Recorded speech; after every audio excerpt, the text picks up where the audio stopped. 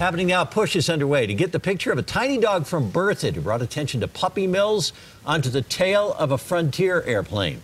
The American Humane Association named Harley the Chihuahua its American hero dog. Harley spent his first 10 years in a puppy mill stuffed into a small cage that was power washed. But he was rescued about four and a half years ago and became a social media sensation. You can vote to get Harley on that Frontier plane by checking out his story at cbsdenver.com.